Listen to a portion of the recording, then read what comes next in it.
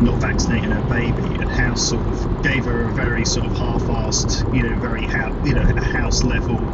Well, you should get vaccinated, and then she changed her mind, right? And so the, the top comment was, "This is unrealistic because she changed her mind." in, in the face of all the evidence, these people don't change their minds. What a It's like it's spastic like a manoeuvre. fascinating Thing, isn't it? People Oh dig my their God. heels in, if anything. Yeah. Um, and the internet gives them this this echo chamber of positive. Was it what is it bias confirmation bias where they just feel like they can.